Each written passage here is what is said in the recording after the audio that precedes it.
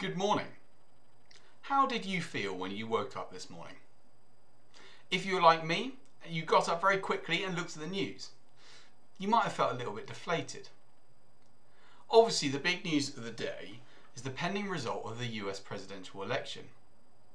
At the time of recording, the flow of results seems to have stalled and the still hanging and the result is still hanging in the balance. It appears that there hasn't been the landslide that many were expecting.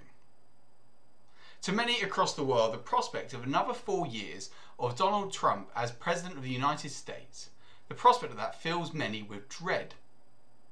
Regardless of your political persuasions, I think it's fair to say that the past four years have been bumpy.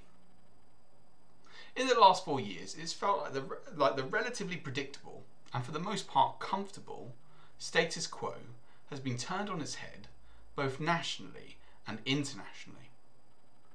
There's been moments in the past four years where it's been easy to feel like we're being pulled to and fro with those in power as they grapple with their opponents, trying to assert and establish themselves in order to find a firm footing from which they can build on their agenda. For many, I'm sure, there was a hope that waking up this morning they'd find the firm result which might have reset the clock, a result which reset the tone, a result which might have brought us back to the relatively predictable and relatively comfortable status quo of four years ago. But that still hangs in the balance for now.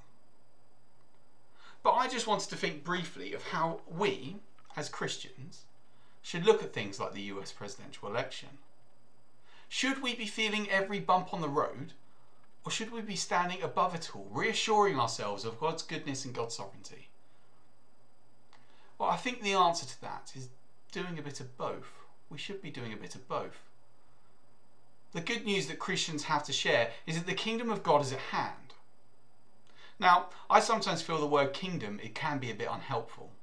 It suggests a place where we are going a destination which is coming up next, but uh, a place which might be imminent, but is still a little bit of a way off. So sometimes I think that it's easier and helpful to talk about it in terms of the kingship of God. The kingship of God is at hand.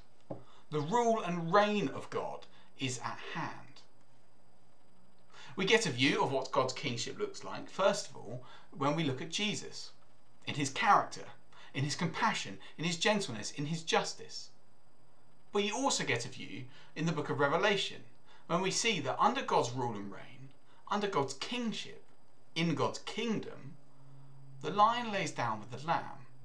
Every tear is wiped from every eye, and there is no more death and no more pain, where all things are made new, and where all the lies, all the violence, and all the idols that cause such pain in this world are burnt away.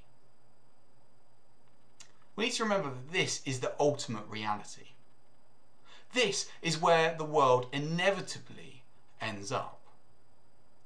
Unlike today, this result does not hang in the balance because it's a sure and certain hope for the future. But it's also a hope for now. The kingdom of God brings justice wherever it goes.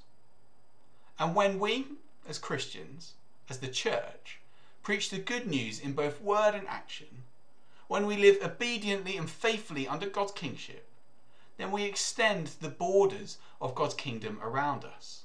We bring something of the justice and goodness shown in that image of, from Revelation to the world around us. This is the foundation of our hope. But does this mean we should be coolly detached as Christians, raising ourselves above every bump on the road? Of course not. As Christians, we are commissioned. We have been sent to this world. We can't serve it if we don't pay attention to it. But the bumps on the road, like the ones we felt in the past few years, shouldn't cause us to despair. Rather, they should cause us to pray more earnestly for the coming of God's kingdom. They should cause us to look more actively for places where we can expand the boundaries of God's kingdom and bring His righteousness, righteousness and justice to reign.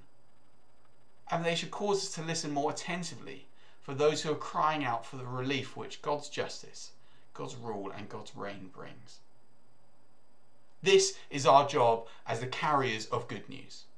It's our job, along with the Holy Spirit, to push forward the boundaries of God's kingdom, of God's kingship, to look expectantly for the day where every tear is wiped from every eye, where death and pain is no more, and where all things are made new.